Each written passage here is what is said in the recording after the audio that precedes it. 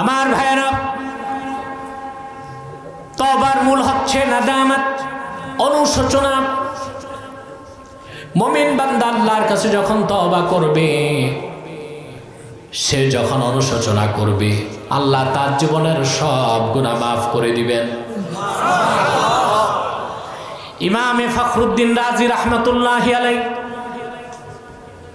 তফসির কবিরে ফাতালাক্কা আদমু মির রাব্বিহি কালিমাত আয়াতের ব্যাখ্যায় লিখেন তবা করার সময় বান্দার অনুশোচনা হলো কি হলো না তা কেমন করে বান্দা বুঝবে? তিনি জবাব দিয়েছেন, শুকনা কাঠের মধ্যে আগুন ধরালে যেমন ধোঁয়া বের হয়, ধোঁয়া বের হলে বোঝা যায় কাঠে আগুন লেগেছে। বান্দা তবা করার সময় যখন বিগত গুনাহের জন্য অনুতপ্ত হবে, অনুশোচনা করবে, তার চোখ থেকে টপ টপ করে পানি ঝরবে, তখন বুঝতে হবে বান্দার করে যায় তবার আগুন জ্বলে গেছে। এটা অনুশোচনা, না দামাত? তবার এক নম্বর শর্ত কি? এখন অনুশোচনা হলো কি হলো না বুঝবেন কি করে? আপনি যখন আল্লাহর কাছে আত্মসমর্পণ করবেন, আপনার চোখ থেকে বিগত দিনের গুনার কথা মনে হলে পানি ঝরতে থাকবে। তবার মানেই আল্লাহর কাছে আত্মসমর্পণ। আশরাফুল মাখলুকার সৃষ্টিকুলের শ্রেষ্ঠ সৃষ্টি মানুষ। আল্লাহ ছাড়া আল্লাহর শ্রেষ্ঠ সৃষ্টি কোন মানুষ কোন বাজারে, কোন পীরের কাছে, কোন মিনারে, কোন সৌধে, কোন প্রতিমার কাছে, কোন প্রতিকৃতি, কোন মূর্তির কাছে মাথা নত করুক, এটা আমার আল্লাহ চান না। মানুষ একমাত্র আত্মসমর্পণ করতে যে মস্তক নত করবে আমার আল্লাহর কাছে।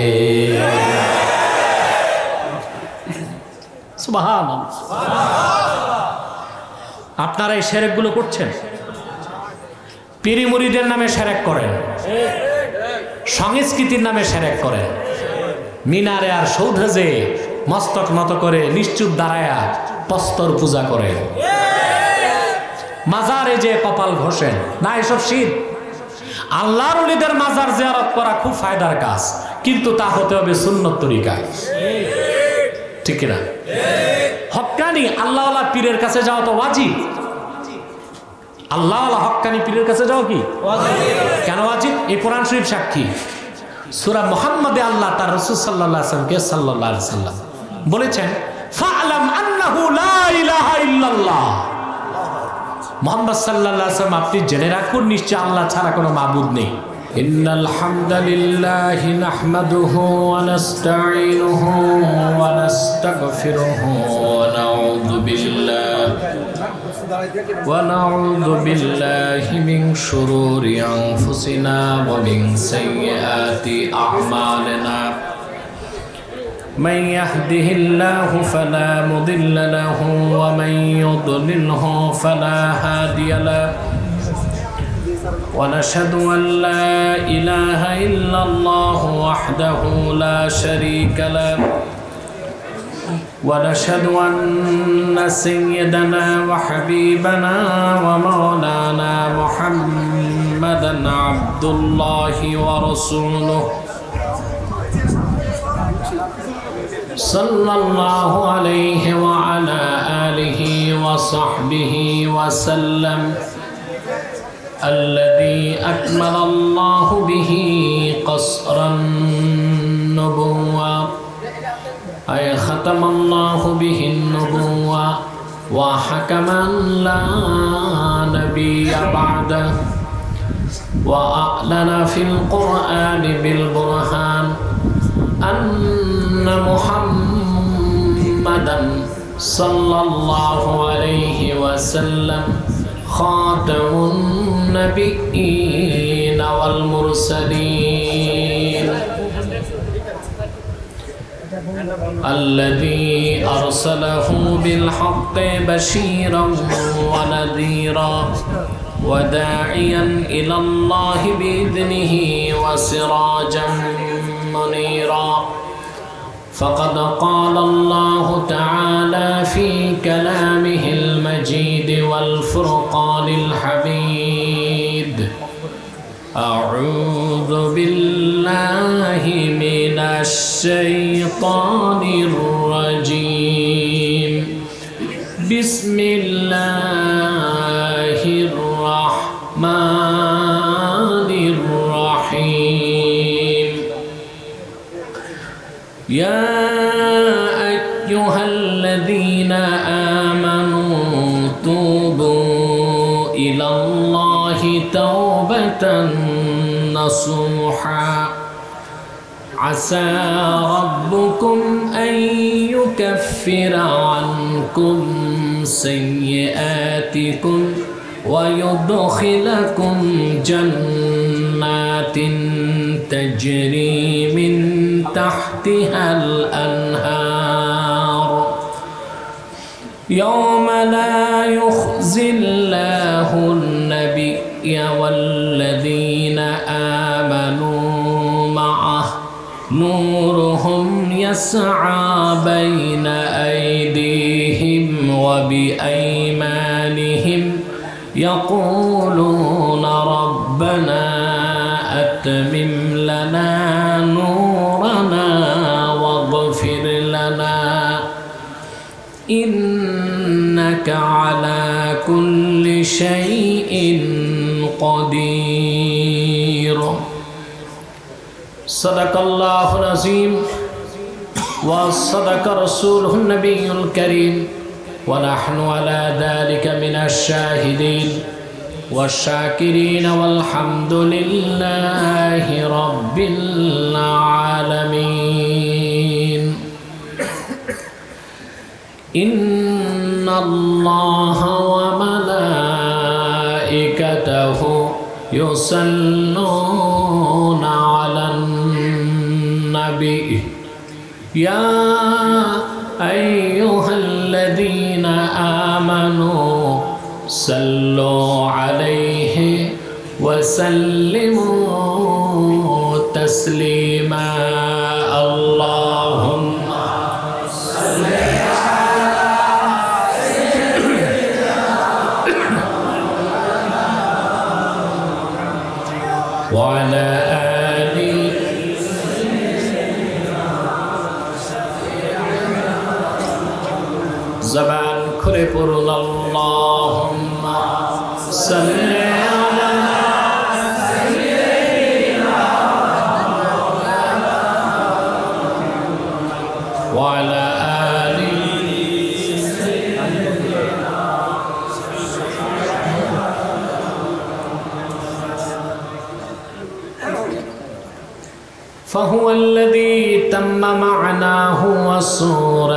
وصورته ثم اصطفاه حبيبا بارئ النسم اللهم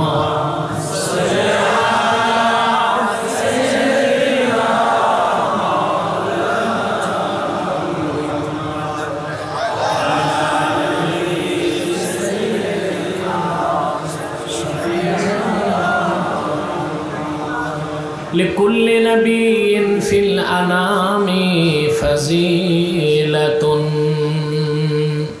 وجملتها مجموعة بمحمد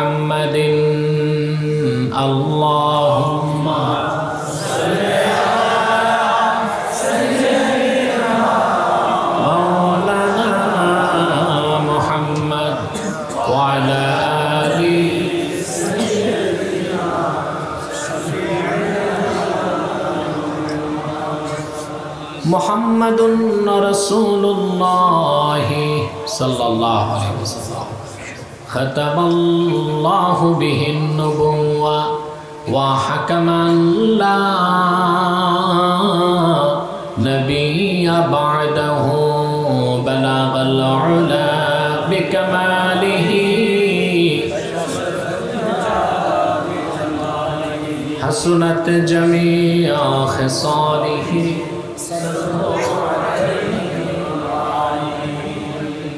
জনাব সদর মাহফিল। হজরাত উলামায় কেরাম, তুলাবায় জাম। তাহরিকে খতমেনবত বাংলাদেশ, মাগুরা শাখার উদ্যোগে আয়োজিত আজকের এই তাফসিরুল কোরআন মাহফিলে বিভিন্ন প্রান্ত থেকে যারা ছুটে এসেছেন, তাদের সকলকে অন্তরের অন্তঃস্থল থেকে জ্ঞাপন করছি। মোবারক। সবটুকুন শুক্রিয়া। আল্লাহ সুবহানাহু ওয়া তাআলার জন্যে যিনি আজকের এই বরকতপূর্ণ মাহফিলে আমাদেরকে আসার বসার তৌফিক দয়া করে দান করেছেন। সেজন্য আসুন, আমরা সকলে একবার অবনত চিত্তে হৃদয়ের আবেগ, অনুভূতি উজাড় করে সমবেত কণ্ঠে বলি, আলহামদুলিল্লাহ। অগণিত অসংখ্য দরুদ সালাম আল্লাহর সৃষ্টির প্রধান আকর্ষণ, বিশ্বসভার সভাপতি, সকল নবী রসুলগণের মাথার তাজ, শামসুল হেদায়ত, বদরুদ্দুজা সৈয়দুল সাকালাইন, ইমামুল মুরসালিন খাতামুল নবী ইন অল মুরসালিন আফতাবিন নবুব্বত শাহান শাহের সালত সরকার দু জাহাঁ সুলতানুল মদিনা নবিগুল আম্বিয়া, হুজুর আকরম, নূরে মুজসম, নূরুন আলা নূর সৈয়দিনা হাবিবিনা শফিনা মৌলানা মোহাম্মদ সাল্লাহ আলিহে ওয়াসাল্লামার উপর। আল্লাহ পাক যাকে আজ থেকে দেড় হাজার বছর আগে প্রেরণ করেছেন, সর্বশ্রেষ্ঠ ও সর্বশেষ নবী ও রাসুল হিসেবে, যার পরে আজ পর্যন্ত পৃথিবীতে অবশ্যই কোনো প্রকার ই নবী কিংবা রাসুল অবশ্যই আসে নাই, অবশ্যই এখনও নাই, অবশ্যই কেমন পর্যন্ত আসবে সম্মানিত সুধী আপনার দীর্ঘক্ষণ বক্তব্য শুনেছেন, আমি দে শুনেছি, আলোচকগণ খুব সুন্দর সুন্দর বক্তব্য উপহার দিয়েছে, আলহামদুলিল্লাহ। একটু বড় গলায় বলেন, আলহামদুলিল্লাহ। এখন বিদায় লগ্নে আপনারা বসেছেন। খুব দীর্ঘ কথা বলার সুযোগ আমার নেই। তবে কম সময়ে কিছু বেশি কথা বলার চেষ্টা করবেন ইনশাআল্লাহ। আমি আজকে আপনাদের সামনে তেলাওয়াত করেছি সুরা তাহরিম থেকে আট নম্বর আয়াত। একটি আয়াতকে কেন্দ্র করে নির্ভরযোগ্য মুফাসির এবং মহাদ্দেশগণের দৃষ্টিকোণ থেকে কিছু কথা আপনাদের সামনে তুলে ধরার চেষ্টা করব। যদি আল্লাহ পাক ওটা বন্ধ করে আওয়াজ হয়। যদি আল্লাহ পাক আমাকে ও আপনাদেরকে তৌফিক, ভিক্ষা দান করেন, বলুন আল্লাহ আমি ভূমিকাতে একটি কথা না বললেই নয়, আপনার লাখ লাখ টাকা খরচ করে মাহফিল কেন করেন? সারা দেশে মাহফিল হয়। আরব বিশ্বকে বাদ দিলে পৃথিবীর কোথাও তো এত মাহফিল হয় না, বাংলাদেশে যত মাহফিল হয়। কেউ বুঝুক আর না বুঝুক, করোনা পরিস্থিতিতে যে বাংলাদেশ ধ্বংস হয় নাই, তার মূল কারণ কোরআনের মাহফিল। এটা আমরা বুঝলেও আমাদের দেশের যারা নীতি নির্ধারক ও অভিভাবক, তারা এখনও বুঝে উঠতে পারেনি দেখেন পার্শ্ববর্তী শ্রীলঙ্কাতে কাগজ কেনার টাকা নাই, পরীক্ষা বন্ধ হয়ে গেছে। মানুষ না খেয়ে এক বেলা খায়, দুই বেলা উপোস থাকে। আমাদের পাশে কিন্তু শ্রীলঙ্কা। ভারত করোনাতে তছনছ হয়ে গেল। আমেরিকা এবং ইউরোপের দাদাগিরি শেষ। করোনায়। আমরা এত ভালো কেন? কি এটা কি আমাদের পলিটিক্যাল কৃতিত্ব? নেতাদের প্রজ্ঞা? আল্লাহর রহমত। এসেছে কেন।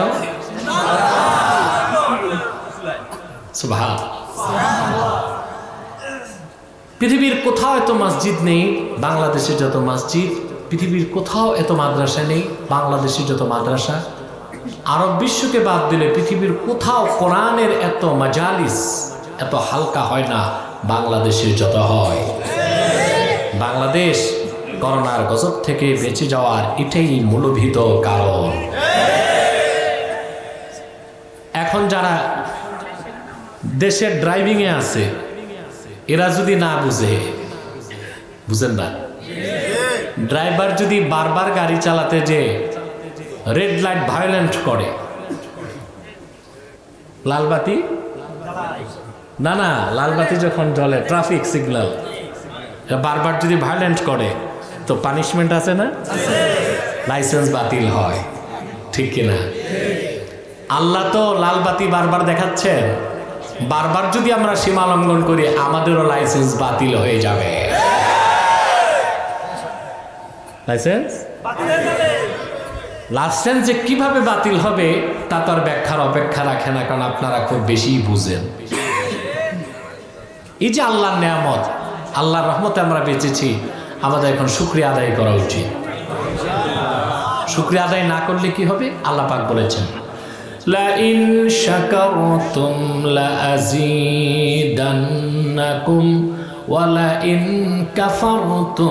ইন إن عذابي لشديد যদি তোমরা আমার নিয়ামতের অকৃতজ্ঞতা দেখাও যদি তোমরা আমার নিয়ামতের শুক্রিয়া আদায় করো আমি নিয়ামত বহুগুণ বৃদ্ধি করে দিব আর যদি নিয়ামতের না শুক্রি করো জেনে রেখো আমার আজাব অত্যন্ত ভয়ঙ্কর তাহলে শুক্রিয়া আদায় করতে গেলে আমাদের উচিত হবে কি মাহফিলগুলোর অনুমতি দিয়ে দেওয়া আর কনসার্ট, আউল বাউল ফাউল আর ডিজে পার্টিগুলো বন্ধ করে দেয়। কিন্তু আফসোস ও পরিতাপের বিষয় যে আমার দেশে এক শ্রেণির প্রতিক্রিয়াশীল মানুষ আছে, আধুনিকতার দাবিদার সুশীল সমাজ, তথাকথিত বুদ্ধিজীবী নামের বুদ্ধি প্রতিবন্ধী। তারাই এখন কথা তুলছে যে এত মাহফিল করে মানুষকে মৌলবাদী বানানো হচ্ছে। আচ্ছা মাহফিলে আসলে যে কি মজা, এ তো মমিন বুঝবে। কাফের বসে বুঝবে। সংশয়বাদী। অ্যাথিস্ট। নাস্তিক বুঝবে। মধুর কি স্বাদ আর কি দাম, তা তো মৌমাছি বুঝে। তেলাপোকা কি বুঝবে? এজন্য মৌমাছি দৌড়ায় মধুর সন্ধানে মৌচাকে, আর তেলাপোকা দৌড়ায় ডাস্টবিনে। কাফের মোশেক নাস্তিকরা তোমরা তোমাদের নাক আর কান কুফুরিয়ার শেরকির দিকে যায়, ওইটাই ভালো লাগে। আর বাংলাদেশে কোরআন প্রেমিকরা কোরআনের মাহফিলে আসে, আল্লাহ প্রদত্ত মধু সঞ্চয় করতে। ঠিক কিনা? এই মজা মমিন বুঝবে, কাফের বুঝবে না, সংশয়বাদী বুঝবে না, অ্যাথিস্ট, লেফটিস্ট, নাস্তিক বুঝবে না, ঠিক কিনা? এখন আসেন আমরা আমাদেরও প্রশ্ন আসলে মাহফিল আসলে লাভ কি? একটা লাভের কথা বলেই আমি মূল আলোচনায় প্রবেশ করছি। একজন মানুষের দেহে সবচেয়ে মূল্যবান অর্গান হচ্ছে তার হার্ট হৃৎপিণ্ড। এটা। বুঝেন তো? কল হার্ট হৃৎপিণ্ড, হৃদয়, মন, দিল, কোনটা বুঝলেন? সবটাই বুঝছেন, তবে আপনার একটু ইংরেজি বেশি বুঝেন এখন। দেখেন না, ঢাকাতে রিক্সাওয়ালাকে বলে বিশ্ববিদ্যালয়ে যাবা? চিনি না। ইউনিভার্সিটি যাবা? চলে। তা আমি সবগুলোই বললাম। হ্যাঁ? হার্ট কল, হৃদয়, হৃৎপিণ্ড, দিল, মন। বুঝলেন তো? এটা মানুষের দেহে সবচেয়ে ইম্পর্টেন্ট এবং ভ্যালুয়েবল অর্গান সবচেয়ে দামি অঙ্গ। এটা মূল, এটা কি? আমি বলে থাকি human body as like state heart is the capital of this state মানুষের দেহ একটা রাষ্ট্র আর সেই রাষ্ট্রের রাজধানী হচ্ছে হার্ট রাজধানী কি? আল্লাহর প্রিয় হাবিব আসলাম দেড় হাজার বছর আগে বলেছেন হাদিসটি সহি বুখারিতে আছে। আল্লাহর হাবিবের সাথ করেছেন আলা ওয়া ইন্না ফিল জাসাদি মুদগাহ ইদা সালাহাত সালাহাল জাসাদু কুল্লুহু ওয়া ইদা ফাসাদাত ফাসাদাল জাসাদু কুল্লুহু আলা ওয়া হিয়াল কলব। সাবধান জেনে রেখো, মানুষের দেহের মধ্যে একটি গোশতের টুকরা আছে, এটা যখন ভালো হয়ে যায়, পুরা মানুষটা ভালো হয়ে যায়। আর এই গোশতের টুকরা যখন নষ্ট হয়ে যায়, পুরা মানুষটা বরবাদ হয়ে যায়। সাবধান জেনে রেখো সেই গোশতের টুকরার নাম হচ্ছে কল কাল্ব না কাল্ব হচ্ছে কুত্তা। উচ্চারণে সামান্য ভুল উচ্চারণে অর্থ শুধু পরিবর্তন। কত পরিবর্তন হবে? জান্নাত আর জাহান নামে যত পার্থক্য। কাল্ব না কাল্ব মানে কুত্তা। এটা হচ্ছে কল। উচ্চারণটা যেন ঠিক।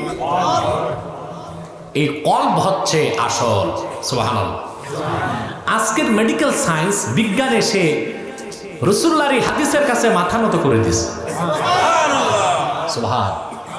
তারাও দেখছে যে আসলে হৃৎপিণ্ড কেন চলে তার কারণ তারা খুঁজে পায়নি আপনার দেহের মধ্যে আল্লাহ রাব্বুল আলমিনের অত্যাশ্চর্য অর্গান সৃষ্টি হলো অঙ্গ হলো আল্লাহ দিয়েছেন আপনাকে আমাকে হৃৎপিণ্ড। মায়ের পেটে যখন সন্তানের বয়স মাত্র চার মাস দশ দিন হয় তখন থেকে হৃৎপিণ্ড কাজ চালু করে। শেষ নিঃশ্বাস ত্যাগের আগ পর্যন্ত সে কাজ করেই যায় অবিরত। এক সেকেন্ডের জন্য কাজ বন্ধ করে না। হৃৎপিণ্ড। প্রতি মিনিটে বাহাত্তর বার কম্পন করে। কতবার? বাহাত্তর বার। এটা দুইটা সিস্টেমে চলে। কয়টা? সিস্টল ডায়াস্টল সংকোচন, সম্প্রসারণ। এর মাধ্যমে সে কাজ করে। সারা বডিতে আপনার রক্ত পৌঁছাচ্ছে হৃৎপিণ্ড। বুঝলেন?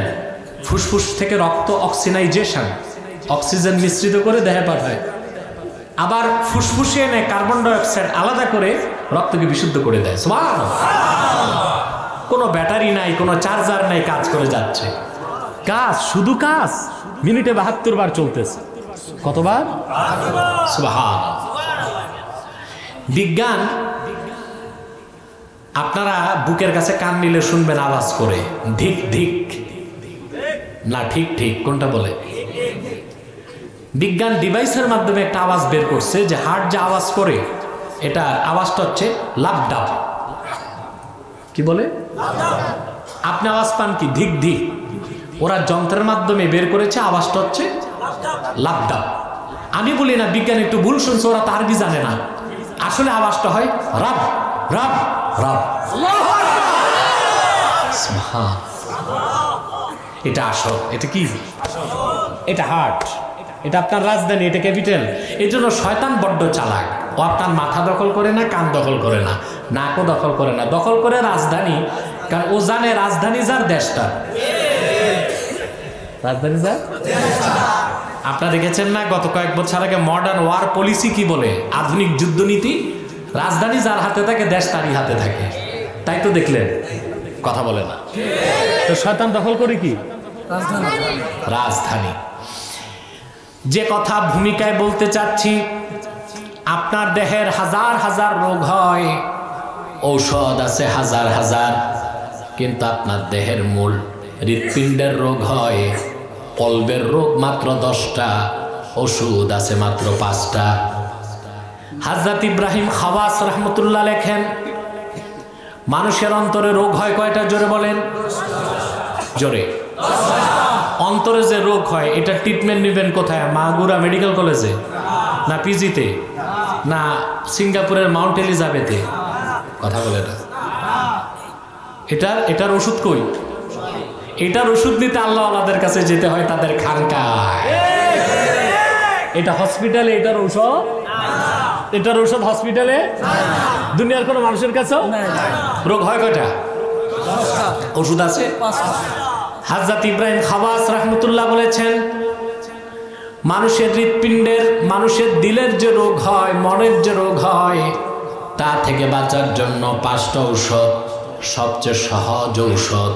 বিনামূল্যে, বিনা কষ্টে বান্দা যা পেতে পারে। পাঁচ নাম্বার তার নাম, মুজালাসাতুস নেককার আল্লাহওয়ালাদের কাছে উঠা বসা করা।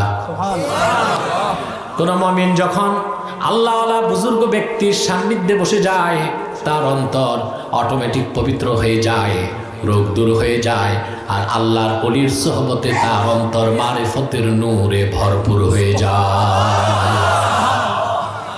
মাহফিলে আসলে এটাই হচ্ছে পঞ্চম লাভ। পাঁচ নাম্বার ঔষধটা মাহফিলে সরাসরি পাওয়া যায়।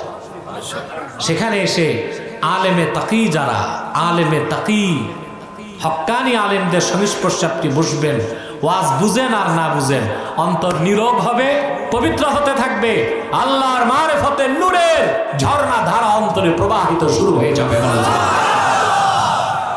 লাভ আছে না নাই? এটাকে তেলা পোকা বুঝবে না, মৌমাছি বুঝবে? ঠিক কিনা? এতে আমরা আজকে যে আসতে পারলাম, খুশি না বেজা বেশি না কম? আমরা খুশি। মাবুদ খুশি, মাখলুকাত খুশি, কুলকায়নাত খুশি, সব খুশি, শুধু বেজার শয়তান। বেজার কে? শয়তান বেজার, তার ছেলা চামুন্ডারও বেজার। শয়তানের সব চেষ্টা ব্যর্থ হয়েছে, এখানে একটা বাকি আছে। মুনাজাতের আগে উঠানো যায় কিনা? আবার একটু পরই মুনাজাত করব, একটু পরই তবে আমরা ন্যাক নিয়ত করে শয়তানের নাপাক গালে একটি চপেটা ঘাত করতে চাই।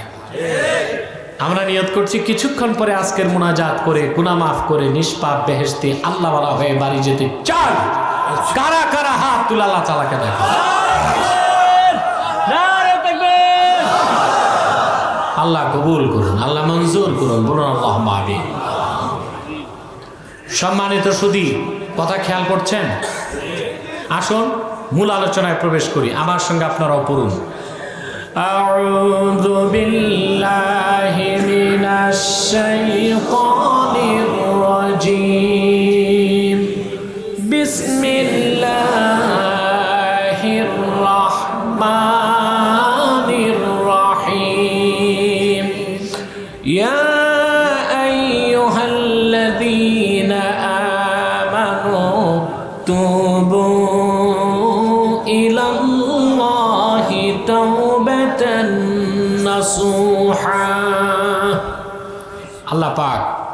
ইমানদার, বিশ্বাসী, মমিন উম্মতে মোহাম্মদী সাল্লাহ আসলামকে বড় মহাব্বতের সাথে, লুৎফের সাথে ডাক দিয়ে বলেন, হে ইমানদারগণ, বিশ্বাসীগণ, তবু ইলাল্লাহ, তোমরা আল্লাহর কাছে তবা করো। নাসুহা, সেই তওবাটা হবে তওবায় নাসুহা, বলেন সুবহা আল্লাহ নিজে বান্দার কাছে বললেন যে তুমি আমার কাছে তবা করো। সুবহান তবা সম্পর্কে আমাদের মানুষের ধারণা খুব কম। তবা না সুহা কাকে বলা হয়? আমাদের দেশে কিছু মূর্খ বক্তা গল্প তৈরি করছে। যে বনি ইসরায়েলের একটা মেয়ে ছিল তার নাম নসুহা বেগম। ওই নসুহা বেগম গুণা করছিল আল্লাহর কাছে মাপ চাইছে তবা কবুল হয়েছে এই জন্য তবার নাম নসুহা তবা আস্তাকুল্লাহ মানুষের মস্তিষ্ক কতটা বিকৃত হলে আল্লাহর কোরআন থেকে কথা বলতে যে এতটা অপব্যাখ্যা করতে পারে। এর থেকে আল্লাহ তালা আমাদেরকে না জাতের ব্যবস্থা করুন। বলুন আল্লাহ আমি সভাপতি সাহেবকে বসার একটা ব্যবস্থা করে দাও সম্মানিত সুধী, কথা খেয়াল করছেন? তো এখন এই তবার নাম কি? আল্লাহ যে তবা করতে বলছেন, বলেন তো এই তবার নাম কি? তবা না সুহা? এই তবাকে তবা না সুহা কেন বলা হয়েছে? প্রশ্ন আসে না? আরবিতে নাসাহা ইয়ানসাহু নুসহুন থেকে তানসাহু। ইয়ানসাহু অর্থ হচ্ছে নসিহত করা। কি করা? এই তবাকে তবা নাসুহা কেন বলা হয়েছে? নাসুহা ইয়ানসাহু নুসহুন থেকে, নাসহুন থেকে নাসুহা। অর্থাৎ আত্মাউবাতুল্লাতি এই তবা তবাকারীকে নসিহত করে তবার পর আর গুনার কাজ করতে দেয় না। যে তবা তবা করার পর বান্দাকে গুনার কাজ করতে দেয় না, ওই তবাকে কি বলা হয়? তবায় না সুহা বলেন সুবহান কথা বুঝতেছেন? আল্লাহ রাব্বুল আলামিন এই তবা কেন দিলেন? সুবহান আল্লাহ আল্লাহ রাব্বুল আলামিন আখিরি নবী নবী কুলের মাথার তাজ, নূর নবীজি আমার মোহাম্মদ সাল্লাহ সাল্লামের উম্মতকে আল্লাহ পাক যেরকম তবা দিলেন, পূর্বের কোন নবীর উম্মতকে এরকম তবা দেন নাই। এত সহজ, এত সুন্দর তবা আল্লাহ তার হাবিবের খাতির উম্মতে মোহাম্মদীকে দান করেছেন। পূর্বের কোন নবীকে এরকম তবা সুবহান আল্লাহ বলবেন? আমি একটা দৃষ্টান্ত দিচ্ছি। মুসা আলাইসালাম বনি ইসরায়েলকে রেখে গেলেন তুর পাহাড়ে, আল্লাহর সাথে কথা বলতে। জানেন তো আপনারা? কথা বলেন। তারা ছিলেন তিহ ময়দানে। কোথায়? মুসানবী গেলেন চল্লিশ দিন আল্লাহর সাথে কথা বলতে। এই ফাঁকে ওই বনি ইসরায়েলের মধ্যে একটা শয়তান প্রকৃতির মানুষ ছিল, তার নাম সামিরি। কিরা? শয়তান সোয়ার হলো সামিরির সেরকি কথায়, নাউজবিল্লাহ বলবেন না? বলো তো, ঠিক আছে, একটা বানাও খোদা। সে বলল, ঠিক আছে, তোমাদের মহিলাদের যত স্বর্ণালঙ্কার আছে, সব আমার কাছে আনো। সব আনা হলো। সব একত্রিত করে মাটির মধ্যে গর্ত করে সে আগুনের জ্বালায় গলিয়ে ফেলল। তারপর ছোট সাইজের একটা বাসুর বানালো। হাজরত জিবরিল মুসা নবীর কাছে যখন ঘোড়া নিয়ে আসতেন, ঘোড়ার পাশ এখানে পড়তো, এখানে সবুজ ঘাস হয়ে যেত। ধূর্ত সামেরি ওই বরকতের মাটি পুটলায় রেখে দিছিল। বাসুর একখান বানায়া মুখে দিতেই বাসুর তো জিন্দা হয়ে গেছে আর হাম্বা হাম্বা শুরু করছে। সামিরি বলল, বনি ইসরায়েল এটাই তোমাদের খোদা, এটার ইবাদত করো। নওয়াজবিল্লাহ মুসা আলাইসালাম তুর পাহাড় থেকে যখন ফিরে আসলেন এই শেরকি কাজ দেখে বরদাস্ত করতে পারেন নাই। বাম হাতে তার বড় ভাই হারুনের দাড়ি ধরছেন আর ডান হাতে এক থাপ্পড় বড় ভাইয়ের গালে লাগাই দিচ্ছেন। অথচ হারুন নিজেও নবী এবং মুসা আলাইসালামের বড় ভাই। মুসা আলাইসালামের এই ক্ষেত্রে মুসা নবী আদবের চিন্তা করেন নাই। কথা বলেন। শিরকের ব্যাপারে মুসানবী বরদাস্ত করতে পারলেন না। এক থাপ্পড় তার বড় ভাই হারুনকে লাগাই দিলেন। আর বাম হাতে শক্ত করে দাড়ি ধরছেন। কত বুঝতে পারছেন ভাই তখন রাগ করে বলছেন, হারুন আলাইসালাম তুমি আমার দাড়ি ধরো না। কারণ মানুষ সবচেয়ে রাগ হয় দুই জায়গায় ধরলে, কান আর দাড়ি। কি ধরলে? কান আর দাড়ি। তবে যদি কান আর দাড়ি ধরা হয় পানিশমেন্ট হিসেবে। কি হিসেবে? কারণ কান তো ধরা যাইতেই পারে। আমেরিকার প্রেসিডেন্ট জো বাইডেন, তার কান ধরারও তো লোক আছে। কে? নাপিত নাপিত। নাপিত জো বাইডেনের কান ধরে না? ডানে বামে যেমনি ছইভাবে ঘুরায়। এটা করার কিছু নাই, কানটা ধরতে দিতেই এবার আসেন।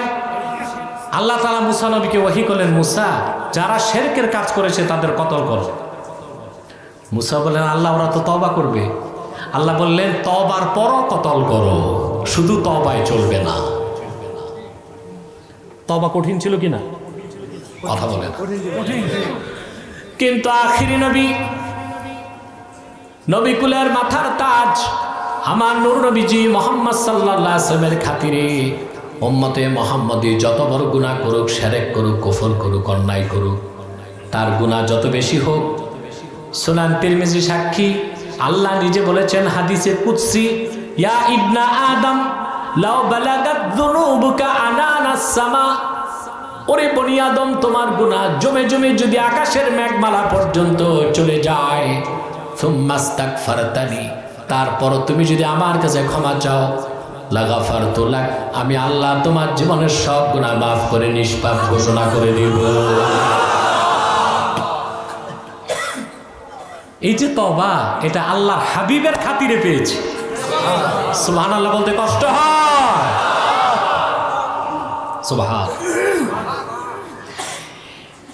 মক্কা বিজয়ের পর হাজরত ওয়াহশি রদি আল্লাহ নাম শুনেছেন?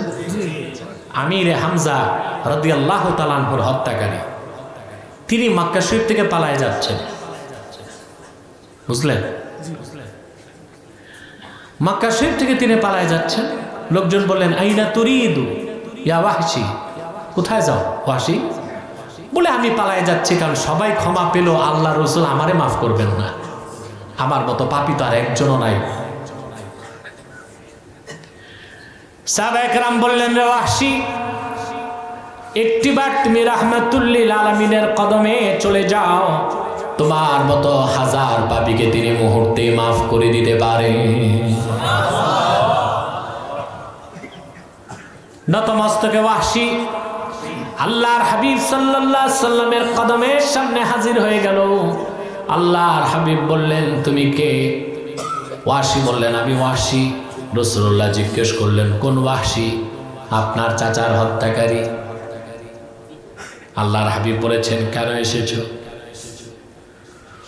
ওয়াসি বললেন, এসেছি ইসলাম গ্রহণ করার জন্য। আল্লাহর হাবিব বললেন, তাহলে তুমি কালেমা পর মুসলমান হও। সে বলল, ইয়া রাসূলুল্লাহ, একটি শর্ত আছে আমার। ওয়াসি শর্ত দেয়। শর্ত কে দিল? ইন্নি উরিদু আন উসলিমা, ওয়ালাকিন লা উসলিমু হাত্তা আসমা কালাম আল্লাহ ইয়া রাসূলুল্লাহ সাল্লাল্লাহু আলাইহি আমি তো মুসলমান হব? কিন্তু একটা শর্ত আছে, আমি মুসলমান হলে আমার সব গুণা আল্লাহ মাফ করবেন। এটা ওহির মাধ্যমে আল্লাহ যদি আপনাকে জানান আর আপনি আমাকে শোনান, কানে শুনি, তাহলে আমি মুসলমান হব। সুবহান কি শর্ত দেখছে সঙ্গে সঙ্গে কোরআনের আয়াত নাজিল হয়ে গেল আল্লাহ ঘোষণা করলেন والذين لا يدعون مع الله إلها آخر ولا يقتلون النفس التي حرم الله إلا بالحق ولا يزنون ومن يفعل ذلك ومن يفعل ذلك يلقى أثاما আপনারা দুটা বয়স্ক অ্যাডাল্ট মানুষ খোঁচাখুচি করতেছে এটা কি এখানে কি অ্যালার্জি সমস্যা না অন্য কোনো সমস্যা আমি বুঝতেছি না। আসলে কম জায়গায় বেশি মানুষ আপনার প্যাক হয়ে গেছে। এটা একটা কারণ বটে। তবে একটু ধৈর্য ধরতে হবে। হ্যাঁ গরম তো আসি সম্মানিত সুদী সাথে সাথে কোরআনের আয়াত নাজিল হয়ে গেছে। আল্লাহ ঘোষণা করলেন মোহাম্মদ সাল্লাহ সাল্লাম আপনি ওয়াসিকে এবং তাম বিশ্বের মানুষকে খোঁজ খবর দিয়ে দেন। যারা আল্লাহর সাথে অন্য কাউকে ইলাহ হিসেবে ডাকবে না অর্থাৎ শিরেক করবে না কুফর করবে না। অন্যায়ভাবে মানুষ হত্যা করবে না, জেনা করবে না। আল্লাহ তাদের সবাইকে মাফ করবে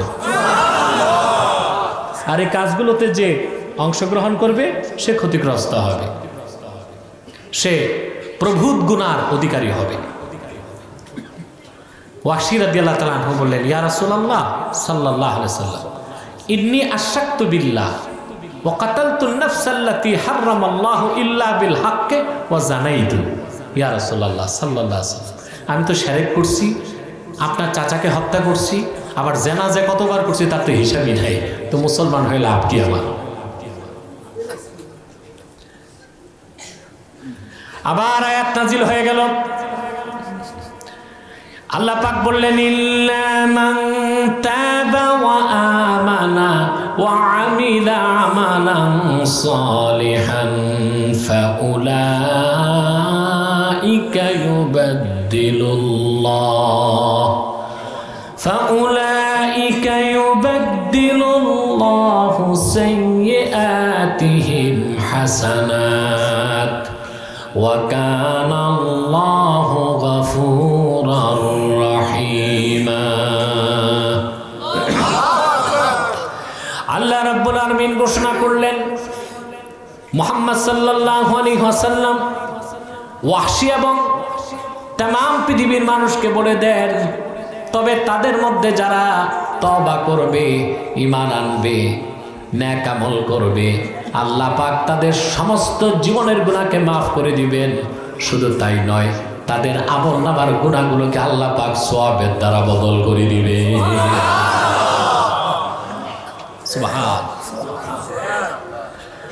হাজরত ওয়াহশি বললেন, ইয়া রাসূলুল্লাহ, ইয়া হাবিবাল্লাহ এখানেও তো আল্লাহ শর্ত দিয়েছেন। ইন্নি আরাফি হে শর্তান ফাহুয়াল আমালুস সালেহ। আল্লাহ তো একটা শর্ত দিয়েছেন ইমান আনার পরে তবা করার পরে ন্যাক আমল করতে হবে। আমি তবাও করব ইমানও আনব, ন্যাক আমলের গ্যারেন্টি আমার নাই আহা, সুবহান। আমি ন্যাক আমল করলেই যে আল্লাহ বেহেস্ত দিবেন ন্যাক আমল পারবো কিনা আমি নিজেও জানি না তবে তবা করব মুসলমান হব এবার আল্লাহর পক্ষ থেকে আবার আয়াত নাজিল হয়ে গেল إن الله لا يغفر أن يشرك به ويغفر ما دون ذلك لمن يشاء নিশ্চয় আল্লাহ আল্লাহর সঙ্গে কেউ যদি অংশ স্থাপন করে, সে শিরকের গুনাহ তিনি মাফ করবেন না, কুফুরির গুনাহ মাফ করবেন না মুশেককে কাফেরকে কোনোদিনও মান, মাফ করবেন না। এছাড়া বান্দা যাকে খুশি তাকে আল্লাহ রব্বুল আলামিন ক্ষমা করে প্রথম চান্সে জান্নাত দিয়ে দিবে। অবাক হবেন মুসলমান, হাজরত ওয়াসি খুশি হইলেন না। বলেন, ইয়া রসুল আল্লাহ সাল্লাহ সাল্লাম, এখানেও তো একটু শর্ত আছে। আল্লাহর হাবিব বলেন সেটা কি? তিনি বললেন, আল্লাহ তো একটা শর্ত দিয়েছেন লিমাইয়াশা ইয়াক ফিরু লিমাইয়াশা আল্লাহ যাকে চান তাকে মাফ করবেন, আমাকে যদি না চান? আরে ভাই, আমি কি মাহফিলে আছি না কবরস্থানে? তো তোমাদের অ্যাক্টিভিটিস তো মনে হয় না মাহফিল কবরস্থান বানায় রাখছো। কষ্ট হচ্ছে? ঘুম আসে? কে কে ঘুমান? হাত উঠান।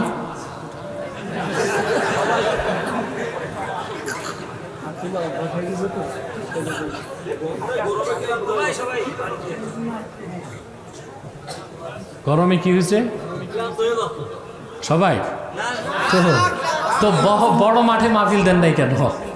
গরম তো লাগবেই গরমকাল ঠিক কিনা? আল্লাহর কাছে দোয়া করেন, আল্লাহ যেন ঠান্ডা বাতাস দিয়ে আমাদের শীতল করে দেন।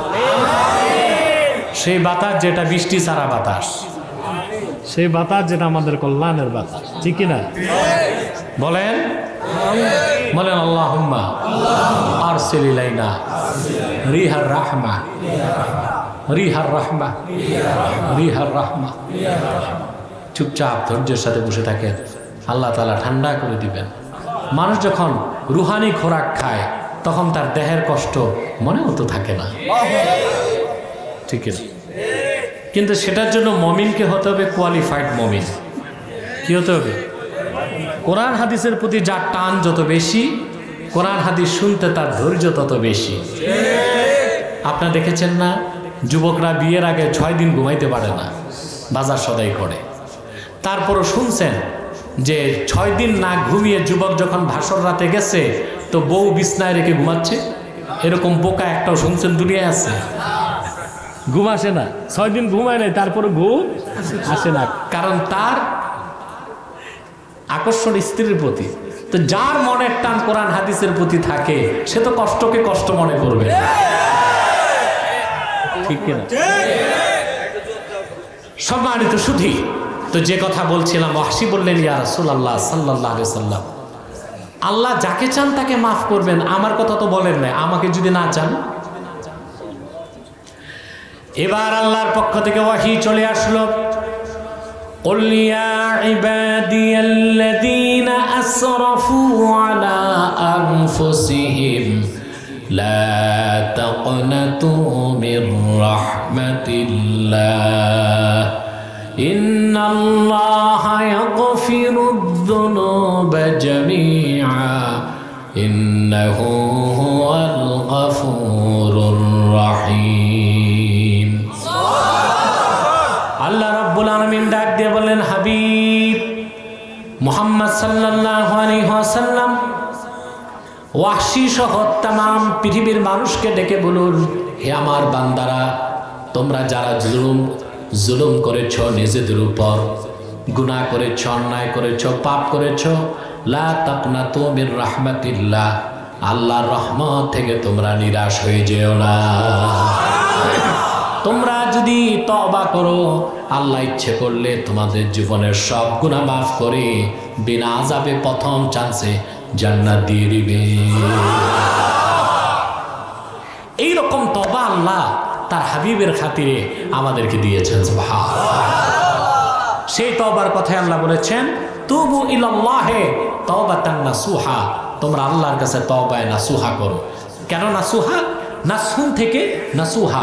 নাসাহা ইয়ানসাহু তানসাহু। আর তাওবাতুল্লাতি তানসাহু তাইবিন বাদা তওবা। তবার পরে তবাকারীকে এই তবা নসিহত করে, আল্লাহ না তোমারে মাফ করছেন, তা আবার গুনাহ করো কেন?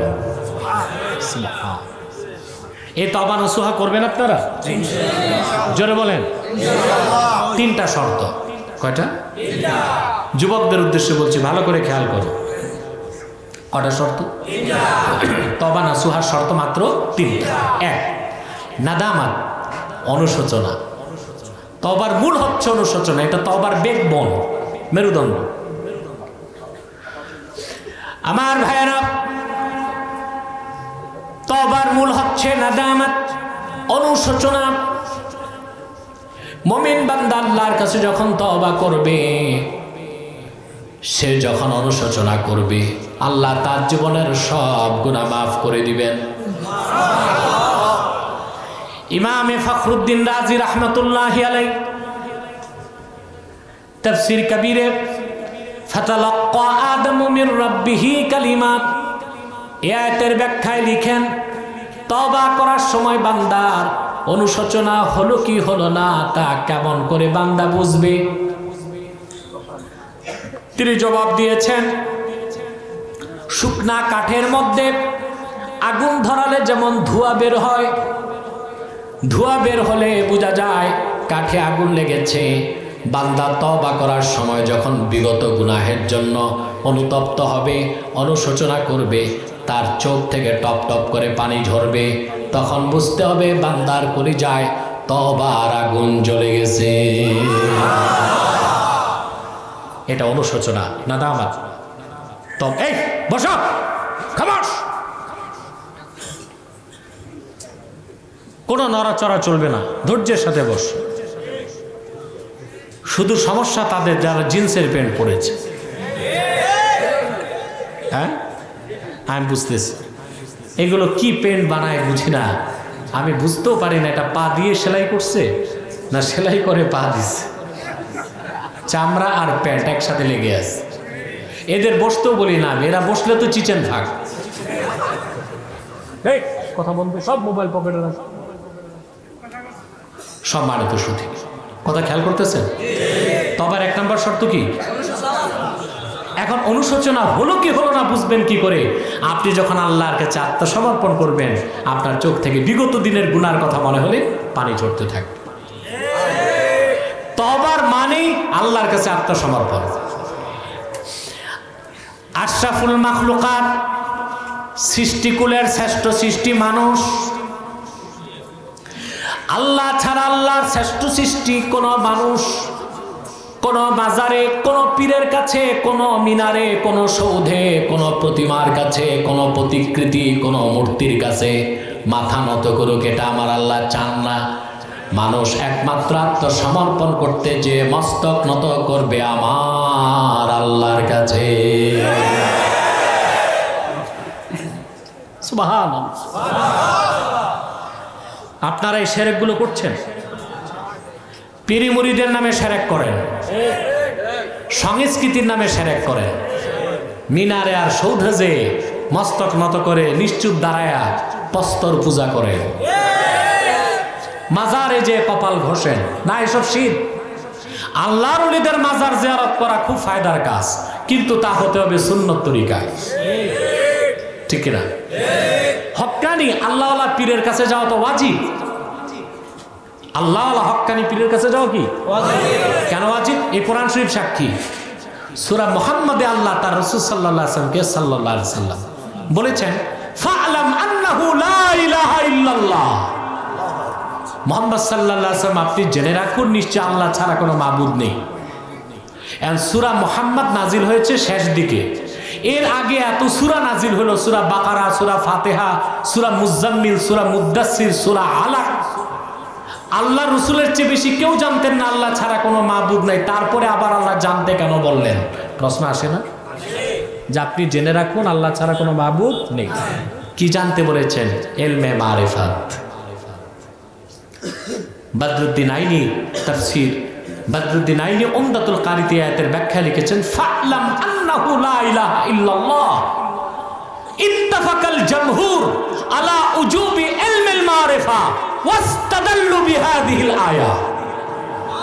সমস্ত আল্লাহ তার হাবিবের কাছে এই করে এলমে মারেফত শিক্ষাকে ওয়াজিব বানাই দিয়েছে। আপনার উসুলের কায়দা জানেন, মা ইউবজিল ওয়াজিব ঠিক কিনা? ওয়াজিবের জন্য যেটা দরকার ওইটাও কি? ওয়াজিব। ওয়াজিবের জন্য যে ওয়াসাইল দরকার ওইটাও কি? ওয়াজিব। তাহলে এলমে মারেফত শিক্ষা করার জন্য আল্লাহওয়ালার কাছে যাওয়াও সহবতের জন্য কি? ওয়াজিব। কিন্তু সেটা কেন যাবেন? আল্লাহওয়ালার কাছে? সে আপনার শিক্ষক আপনার বড় ভাই আপনার উস্তাদ। কিন্তু আজকে বাংলাদেশে ভণ্ড পীররা দেখা যায় পীরের কাছে যে মস্তক নত করতেছে এটা শির্ক। যায় এটা করবেন কেন আপনি? শিরকের গুণা করা যাবে না। সেটা পীরের পীরের কাছে হোক, মাজারে হোক, মিনারে হোক, সৌদে হোক। মনে থাকবে? রাজনীতির নামে, সংস্কৃতির নামে, ঐতিহ্যের নামে পীরমরিদের নামে কোন প্রকার শির চলবে না। মানুষ একমাত্র মস্তকৃত করবে সর্বশক্তিমান আমার আল্লাহর কাছে। সেজন্য আল্লাহ তওবা দিয়েছেন। বান্দা তওবায় আত্মসমর্পণ করবে কার কাছে? বাইবেলের তওবাটা শুনাই আপনাদের। বাইবেলে একটা তওবা আছে, খ্রিস্টানদের বাইবেলে। ঈসা আল্লাহর কাছ থেকে যে তওবা আনছিল ওটার তো ওরা বহু তাকে নষ্ট করছে। ওই তওবা তো বাইবেলে নাই। মন করে একটা তওবা বাইবেলে ওরা ঢুকাইছে, সেটা হচ্ছে বাইবেলের তওবা, খ্রিস্টানদের। যে কোনো ব্যক্তি যদি অপরাধ করে পাপী হয় গুণাগার হয়, সে রবিবার দিন গির্জায় যাবে। কোথায়? ওখানে ফাদার আছে। কি আছে? ফাদার মানে? বাবা। এটা এমন ফাদার যার জীবনে মাদার থাকে না। এটা বুঝেন নাই আপনারা? কেমন ফাদার যার জীবনে মাদার থাকে না। অর্থাৎ ফাদার মানে যে বিয়ে করবে না। তাহলে মাদার হবে হবে থেকে হবে? এই ফাদারদের কোনো মাদার নাই। তবে তারা বদমাসি ষোলো আনাই করে। যেটা ইউরোপ, আমেরিকায় যৌন নির্যাতনে ফাদারদের বিরুদ্ধে মামলা হয়। শিশুদের বলৎকার করে, এই কাজগুলো করে তারা, বিয়ে করে না। ওরা কি করে না? বিয়ে করে না শিশুদেরকে বলৎকার করে। ওই ফাদারের কাছে যে যে পাপ করছে খ্রিস্টান, সে ফাদারের হাঁটুর কাছে মস্তক নত করে বসে যাবে। তারপর সে বলবে যে, গত সপ্তাহ থেকে এই পর্যন্ত আমি এতটা গুণা করছি, অন্যায় করছি, চুরি করছি, বদমাশি করছি, শয়তানি করছি, হারাম কাজ করছি। তখন তবা কি? ফাদার তার মাথায় হাত বুলিয়ে একবার বলে দিবে, মহান জেসাস, যিশু তোমাকে ক্ষমা করুন। তো খ্রিস্টান মনে করে, আমি তো নিষ্পাপ। আবার যে র্যান্ডম শয়তানি শুরু হয়। কেন একবার গেলেই তো গির্জায় তবা হয়ে যায়? জেসাস মাথায় হাত দিয়ে কি বলে? ফাদার, মহান যিশু তোমারে নজবিল্লা বলবেন না? ইসলাম মানুষের মর্যাদাকে সমুন্নত করেছে। মানুষ কোনো ব্যক্তি বস্তুর কাছে মাথা নত করবে না, করবে মহান আল্লাহর কাছে। তবাটা আত্মসমর্পণ। তবাটা কি? এবার আসেন। আমরা আল্লাহর কোরআনের রাজনীতির কথা বললে এক ধরনের মানুষের চুলকানি হয়। কিন্তু যারা ধর্মনিরপেক্ষতায় বিশ্বাসী, তারাও মাঝে মধ্যে রাজনীতি করে। তবে আল্লাহর দেওয়া কোরআনের রাজনীতি করে না মানব রচিত মিথ্যাশ্রিত, তন্ত্রমন্ত্রের রাজনীতি করে। কীভাবে? আমি বুঝাই দিচ্ছি। আপনার ন্যানসন্স ম্যান্ডেলার নাম শুনেছেন? বলেন তো, কোন দেশের নেতা? South Africa. ঠিক কিনা? আপনারা ভাবছেন আফ্রিকা, দক্ষিণ আফ্রিকা মানে জঙ্গল। শুধু বাঘ, বললুক আর কিছু নাই। খুব সমৃদ্ধ একটা দেশ দক্ষিণ আফ্রিকা এবং ক্যাপটাউন পৃথিবীর অন্যতম একটা বাণিজ্য কেন্দ্র। বুঝলেন? আর আমরা ভাবি যে ওখানে খালি মশার যন্ত্রণায় চলাফেরা করা যায় না, নাকি? না উঠছে অনেক মশা আমাদের বাংলাদেশে এখন। আর বাংলাদেশের সবচেয়ে বেশি মশা হচ্ছে ঢাকা এয়ারপোর্ট। ঢাকা এয়ারপোর্ট। এই জন্য উচ্চ আদালত রুল জারি করছে, ঢাকা এয়ারপোর্টকে মশামুক্ত করা হোক। আশ্চর্য কথা, আমি বুঝে পাই না, এত বিমানের আড্ডা, ওইখানে মশা ঢুকে গেল কারণটা এখনও খুঁজে পাই নাই। যাক, কারণ একটা পাওয়া তো যাবেই, ঠিক কিনা মশার সাথে এয়ারপোর্টের এত প্রেম কেন? সম্মানিত শুধু সে ন্যানসুস ম্যান্ডেলা সাতাশ বছর জেল খেটেছে। সাতাশ বছর পর জেল থেকে বের হয়ে তার দ্বন্দ্ব ছিল শ্বেতাঙ্গদের সাথে। তখন সে একটা ট্রুথ কমিশন করেছে। কি করছে? এটা বাইবেল থেকে কনসেপ্টটা সে নিয়েছে, বাইবেল থেকে। সে খ্রিস্টান, বাইবেল থেকে নিয়েছে এটি তো স্বাভাবিক। কথা বলে না।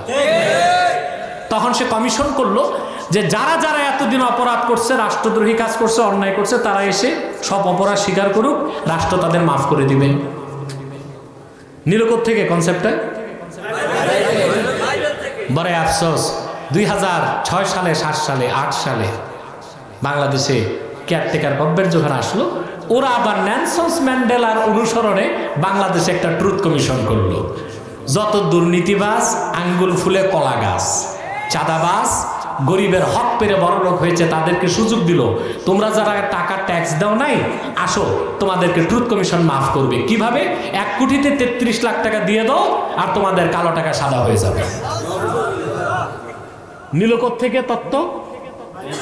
ন্যানসন্স ম্যান্ডেলা থেকে। আর ন্যানসন্স ম্যান্ডেলা হইলে থেকে আফসোস, বাইবেল মানুষের হস্তক্ষেপ হয়েছে বিকৃত মিথ্যাশ্রিত একটা ধর্মগ্রন্থ থেকে তোমরা ট্রুথ কমিশনের কনসেপ্ট নিতে পারলা।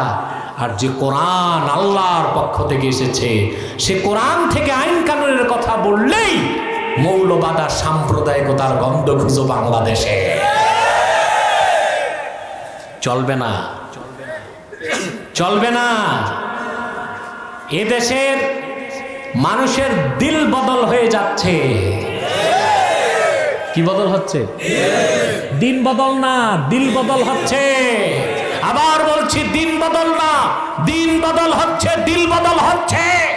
বাংলাদেশে সতেরো কোটি ছেচল্লিশ লক্ষ মানুষ, এগারো কোটি ভোটার, আর আঠারো থেকে সাঁত্রিশ বছর বয়সের তরুণ যুবক আছে তিন কোটি। সারা বাংলার তিন কোটি তরুণ যুবকের স্রোত আল্লাহর কোরআনমুখী হয়ে যাচ্ছে মুসলমান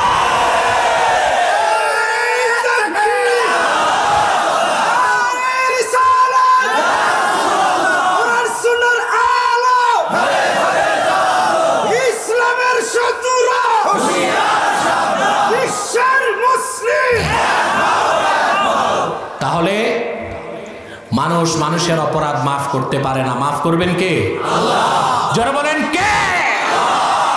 তবার মাধ্যমে। কিসের মাধ্যমে? সে তবার শর্ত কয়টা? জোরে বলেন কয়টা? প্রথমটা কি? আল্লাহর কাছে আত্মসমর্পণ করতে হবে আপনাকে। সুবহান আল্লাহ মনে রাখবেন মুসলমান তবার আত্মসমর্পণ কতক্ষণ? প্রশ্ন আসে না? আপনার বিরুদ্ধে ওয়ারেন্ট জারি হয়ে গেল। পুলিশ অফিসার এসে আপনাকে যদি পায়, আপনাকে অ্যারেস্ট করবে। কিন্তু পুলিশ দারোগা আসার আগে যদি আপনি জামিন নিয়ে নেন, আপনাকে পুলিশ অ্যারেস্ট করতে পারবে নাকি? আপনার তবা কতক্ষণ? মালাকুল মৌত আসার আগ পর্যন্ত মৃত্যুর দারোগা আপনার ওয়ারেন্ট যখন নিয়ে চলে আসবে দুনিয়ার ওয়ারেন্ট অফিসারকে তো কিছু মাল পানি দিলে বিদায় করা যায়। সমগ্র দুনিয়ার সম্পদ মালাকুল মৌতের পায়ে দিলেও এক সেকেন্ডের জন্য আপনাকে তিনি সময় দিবেন না। দিবেন সময়? মালাকুল মত আসার আগ পর্যন্ত আপনার জামিন নেবার সুযোগ আছে। আপনি তবা করেন। যে তবা কবুল হয়ে যায় আপনি নিষ্পাপ অবস্থায় বেহেস্তে চলে যাবেন বলেন প্রথম শর্ত কি? অনুশোচনা না দাম অতএব আপনারা যারা তবা করতে চান তবে না সুহা প্রথম কাজই হচ্ছে আপনাকে রাতের অন্ধকারে আল্লাহর কাছে সাজদায় চলে যান। বিগত দিনের গুনার জন্য আল্লাহর কাছে অনুতপ্ত হয়ে মাফ চাবেন। পারবেন না ইনশাল্লাহ একজন মমিনের চোখের পানির দাম কত জানেন? আপনার শুনেছেন সাহি বুখারির হাদিস, আল্লাহর হাবিবের সাথ করেছেন। মা লিমা বান্দা যেই নিয়তে জমজম পান করবে, তার সেই নিয়ত পূরণ হবে। যে রোগের জন্য জমজম পান করবে, তার সে রোগ চলে যাবে। আল্লাহর আকাশের নিচে, জমিনের উপর জমজমের চেয়ে পবিত্র কোনো পানি নাই। কিন্তু আল্লাহর পবিত্র সত্তার কাসাম করে বলি মুসলমান, উম্মতে মোহাম্মদী, আল্লাহর ভয়তে কিংবা আল্লাহর হাবিব মোহাম্মদ সাল্লাল্লাহ সাল্লামের মহাব্বতে যদি এক ফোঁটা চোখের পানি চোখে আনতে পারে ওই পানির ফোঁটার দাম আমার আল্লাহর কাছে জমজম পানির চেয়েও কঠিন বেশি হয়ে যায়। তবা করার সময় যদি এক ফোঁটা চোখের পানি আপনার গণ্ডদেশে আসে তা প্রবাহিত হওয়ার আগে আল্লাহ আপনাকে নিষ্পাপ ঘোষণা করে দিবেন। এটা প্রথম শর্ত পারবেন? দুই আপনাকে গুণা ছাড়তে হবে। আই ইউকলিয়া আনিল মাসিয়া। ব্যক্তিকে গুণা ছেড়ে দেওয়া। কি ছেড়ে দেওয়া? আপনি নামাজ পড়বেন না, কিন্তু তবা করবেন। এটা তবাই হবে না। কারণ নামাজ তরক করা হচ্ছে সবচেয়ে বড় গুণা এই গুনার মধ্যে থেকে হাজারো তবা করলে আপনার তবা কবুল হবে না। তবা কবুল হবে না। আপনারা এইরকম তবাই করেন। ঠিক কিনা? এই যে অনেক লোক লাইলাতুল বারাতে দেখা যায়, বেনামাজেরা সব মসজিদে ভিড় করে। লাইলাতুল বারাত সহি সনদে প্রমাণিত। লাইলাতুল বারাত সবে বারাত যে বলেন, এই রাতে এবাদত করা, দিনে রোজা রাখা, এই ব্যাপারে সহি সনদে সাতটি হাদিস পাওয়া যায়। এবং হাদিসে এসেছে যে লাইলাতুল বারাত সব বারাতে রাতে ইবাদত করবে, দিনে রোজা রাখবে। গুফির আলহুমা তাকাদ্দামা মিন জাম্বি। আল্লাহ তার বিগত দিনের গুণাগুলো মাফ করে দিবে। কিন্তু সব বারাত হচ্ছে বোনাস। এটা কি? যার চাকরি নাই, তার কি বোনাস আছে? যার বোনাস নাই, তার কি পেনশন আছে? আপনারা যারা বেনামাজি এক অক্ত নামাজ পড়ে না, শুধু সববরাতে রাত জেগে মনে করবেন না চাকরি হয়ে গেছে। আগে পাঁচ অক্ত নামাজ ধরতে হবে, তারপর বোনাসের আশা করতে হবে। তা আমরা দেখি শহর অঞ্চলে বেশি, লাইলাতুল বারাতে এক অক্ত নামাজ পড়ে না এই সব বেনামাজিরা হালুয়া রুটি খেয়ে আসরের পর মসজিদে ঢুকে। সারা রাত নামাজ পড়ে রাকাত? ও নিজেও জানে না। ফজর নামাজ পড়ে বাড়ি যায়, যাওয়ার পর জোহর, আসর, মাগরিব গেছে। একদিকে এশার আজান হয়, বাজারে যে বল্টু চৌধুরী ক্যারাম বোর্ড খেলে। উনি সারা রাত জাগছে কালকে। এটাই কি সব রাত পালনের উদ্দেশ্য? তো আবার দ্বিতীয় শর্ত, আপনাকে গুনাহ ছাড়তে হবে। গুনাহ? তিন আল্লাহ আবাদা। আপনাকে শপথ করতে হবে। জিন্দিগিতে আপনি আর গুনার কাজ করবেন না। সুদ ছাড়বেন, ঘুষ ছাড়বেন, আর কোনোদিন সুদ ঘুষ ধরবেন না। জানাবে বিচার করবেন না তবার পর কোনোদিন কাছেও যাবেন না। নামাজ তরক করতেন, এখন শপথ করতে হবে, এক ওয়াক্ত নামাজ ছাড়বো না। এই তিন শর্ত যদি পূরণ করতে পারেন, আপনার তবা হয়ে যাবে। তবায় সুবহানাল্লাহ বলবেন এই তবায় নাসুহা করলে কি পাবেন? প্রশ্ন আসে না? কথা বলেন। আল্লাহ বলে দিছেন عسى ربكم أن يكفر عنكم سيئاتكم ويدخلكم جنات تجري من تحتها الأنهار আল্লাহ পাক বলেন তোমরা যদি তবা নাসুহা করো আশা করা যায় মোহাম্মদ সাল্লাল্লাহ সাল্লামের খাতিরে আল্লাহ পাক তোমাদের জীবনের সব গুনাহ মাফ করে দিবেন আর তোমাদেরকে আল্লাহ পাক সেই অনিন্দ সুন্দর জান্নাতে প্রবেশ করাবেন যে জান্নাতের নিচ দিয়ে স্বচ্ছ পানির ঝর্ণা দ্বারা প্রবাহিত আছে কোন দিন আল্লাহ বলে দিচ্ছেন يوم لا يخزي الله النبي والذين آمنوا معه সেই হাসরের দিন কেয়ামতের দিন যেই দিন আল্লাহ তালা মোহাম্মদ সাল্লাহ সাল্লামকে বেজার করবেন না আর মোহাম্মদ সাল্লাহ সাল্লামের খাতিরে ওনার ইমানদার উম্মতকে আল্লাহ অপমান করবেন না বরং মোহাম্মদ সাল্লাহ সাল্লামের খাতিরে উম্মতে মোহাম্মদীকে কি সম্মান আল্লাহ দিবেন তাও বলে দিলেন ইয়াসআ বাইনা আইদিহিম ওয়া বিআইমানিহিম প্রত্যেক উম্মতে মোহাম্মদের সামনে আর ডানে নূর দৌড়াদৌড়ি করবে। রসুল্লাহর প্রত্যেক উম্মতের সামনে আর ডানে নূর দৌড়াবে। হাসর ময়দানে মানুষ বুঝবে এরা ভিভিআই ভিআইপি উম্মত উম্মতে আমি একটা কথা বলে থাকি, মুসলমান। আমরা যে বিনা দরখাস্তে আল্লাহর হাবিব মোহাম্মদ সাল্লাহ আসলামের উম্মত, ঠিক না? এই জন্য আমরা কিন্তু নিজেদের দাম বুঝি না। নিজেদের দাম না বুঝার কারণে আমরা কি করি? আমরা দল ঠিক রাখতে যে, নেতা ঠিক রাখতে যে, চাকরি ঠিক রাখতে যে, ধান্দা ঠিক রাখতে যে, ইসলামের সাথে করি গাদ্দারি ইমানের সাথে করি বেঈমানি। আর নির্বাচনের রাতে ভেড়া বকরির দামে বিক্রি হয়ে যাওয়া আপনাদের এলাকায় হয় না, সব আউলিয়া কেরাম। হয়। হয় না? আরে মিয়া সাহেব, আপনার, দেখেন না, ঈদের সময় এক একটা ভেড়া বকরির দাম হয় কত? আরে, এই ফ্যানটা আপনি দখল করছেন, আমাকে দেন নাই। আপনিও তো একরামুল মুসলিমও তো করা উচিত। আপনিও আসেন ভাগ নেন একটু আমার সাথে। আসেন আসেন। ফাঁকা হয়ে বসেন। কথা খেয়াল করতেছেন? আপনার ঈদের সময় দেখবেন ভেড়া বকরির দাম হয় দশ হাজার, বারো হাজার টাকা। আর নির্বাচনের রাতে ভোটারের দাম হয় হাজার টাকা, বারোশো টাকা। কোথাও নাকি পাঁচশো টাকা হয়, এ তো পোলট্রি মুরগির দামও হয় না। কেন? আমরা এত কম দামে বিক্রি হই কেন? আমরা উন্মতে মোহাম্মদী নিজেদের দামই বুঝি না। আপনার দাম কত বেশি মুসলমান জানেন? সাহি বুখারীর হাদিস আল্লাহর হাবিবের সাথ করেছেন, নাহনুল আখিরুন সাবিকুন। আল্লাহর হাবিব বলেছেন, আমরা পৃথিবীতে আসার দিক দিয়ে দেরিতে এসেছি, সবার পরে এসেছি। কিন্তু কাল কেয়ামতে হাসরে পুলসিরাতে জান্নাতে থাকব সবার আগে। আল্লাহ আকবার। নাহনুল আখিরুন সাবিকুন। উমদাতুল কারিতে হাদিসের ব্যাখ্যা এসেছে আল মুতাকা আল মুতাআখিরুনা ফিদ দুনিয়া ওয়াল মুতাকাদ্দিমুনা ইয়াউমাল আখিরা।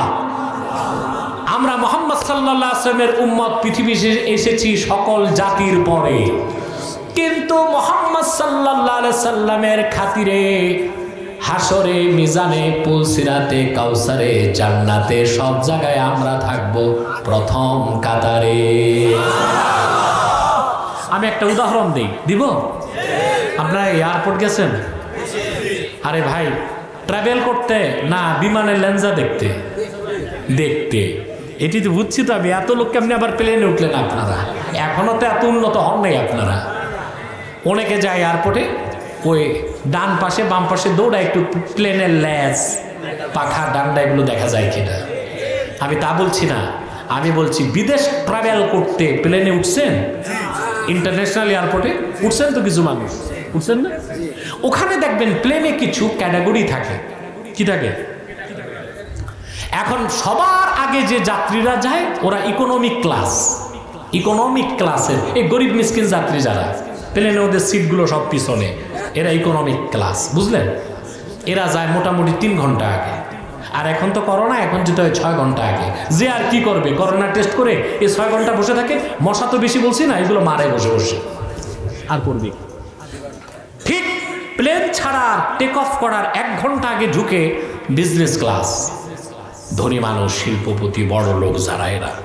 এরা বিজনেস ক্লাসের যাত্রী প্লেন টেক অফ করার আধা ঘণ্টা চল্লিশ মিনিট আগে ঢুকে ভিভিআইপি পার্সেন যারা মন্ত্রী এমপিরা এখন বলেন তো ভাই প্লেনের সিঁড়ি যখন প্লেনে লাগল বা টিউব, তখন উঠবে আগে কারা?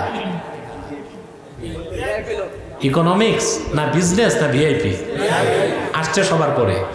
তারপর উঠবে যারা আসছে বিজনেস ক্লাস তারপর উঠবে তারা সবার আগে যারা আসছে। এই পৃথিবীতে উম্মতে মোহাম্মদী সবার শেষে এসেছে। কিন্তু মোহাম্মদ সাল্লাল্লাহ সাল্লামের খাতিরে আল্লাহ পাক এত সম্মান দিবেন হাসরে মিজানে কাউসারে, পুলসিরাতে, আল্লাহর জান্নাতে তারা থাকবে সবার আগে। শুধু কি তাই? সেজন্য বলে যাই, মুসলমান, স্পষ্ট মনে রেখো, তোমার দলের কারণে, দলীয় মতাদর্শের কারণে নেতার কারণে নেতার মনোরঞ্জন করতে যে নেত্রীর খুশির জন্যে ব্যবসার জন্য চাকরির জন্য দুনিয়ার স্বার্থ রক্ষার জন্য। কখনো তুমি ইসলামের সাথে গাদ্দারি করো না ইমানের সাথে বেইমানি করো না। জীবন যাবে ইমান যেন না যা আমাদের দেশে নেতাদের একটা ডায়লগ আছে। ডায়লগটা আমি মানি তবে আমার দুইটা শব্দ যোগ করতে হবে। আপনার রাজি আছেন? তারা বলেন ব্যক্তির চেয়ে দল বড়, দল থেকে দেশ বড়। আমি দুইটা শব্দ যোগ করি। ব্যক্তির চেয়ে দল বড়, দল থেকে দেশ বড়, দেশ থেকে আমার জান বড়, জান থেকে আমার ইমান বড়, কোরআন বড়, ইসলাম বড়। ইমান ইসলামের প্রশ্নে কোনো আপোষ না মনে থাকবে? আপনি কোন দলের? আপনি কি শ্বেতাঙ্গ না আপনি কৃষ্ণাঙ্গ? আপনি কি বাঙালি নাকি বাংলাদেশি? আপনি কি আওয়ামী লীগ কি বিএনপি? এই পরিচয় পরকালে থাকবে না। পরকালে একটাই পরিচয় আপনাকে মূল্যায়ন করা হবে। আপনি উম্মতে মোহাম্মদী কিনা, ঠিক কিনা বলেন? এর চেয়ে বড় কোনো পরিচয়? এর চেয়ে বড় কোনো পরিচয়? সময় দেখি। সাড়ে আল্লাহ, আমি তো খেয়াল করি নাই।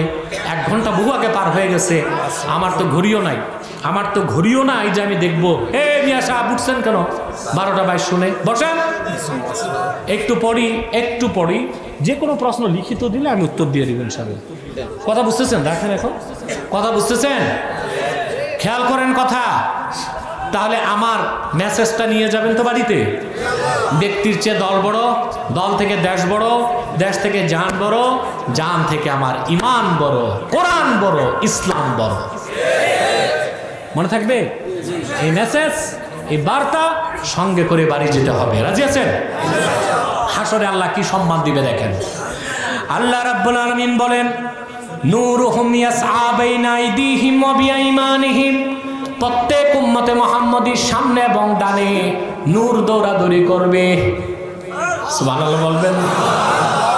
কেন আল্লাহ নূর দিবেন? প্রশ্ন আসে না? হাদিস সাক্ষী আল্লাহর হাবিবের সাক করেছেন হাসরে একশো বিশটি কাতার হবে, আশি কাতার হবে ওম্মতে মোহাম্মদি। এই বিলিয়ন বিলিয়ন ট্রিলিয়ন ট্রিলিয়ন মানুষের মধ্যে হাসরে যেন ওম্মতে মোহাম্মদি স্বতন্ত্র পরিচয় ধারণ করতে পারে। এই জন্য তাদের সামনে এবং ডানে নূর দৌড়াদৌড়ি করবে। উম্মতে মোহাম্মদী আল্লাহকে ডাক দিয়া বলবেন, ইয়াকুলুনা রব্বানা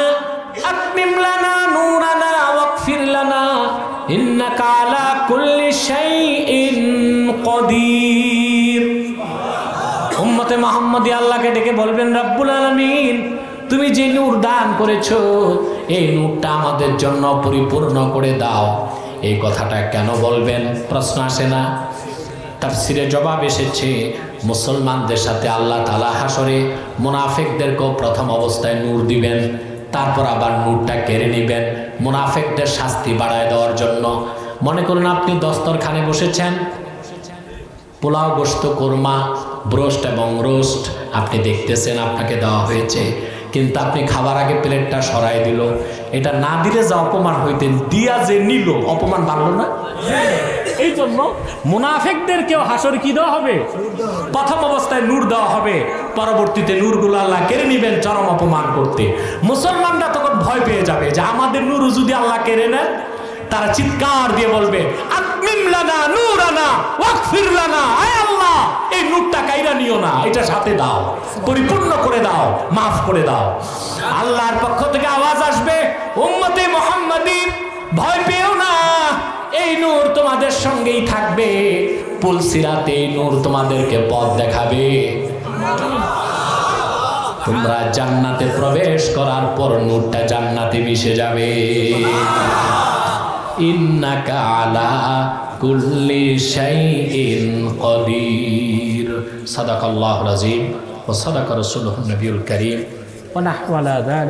শাহিদিন।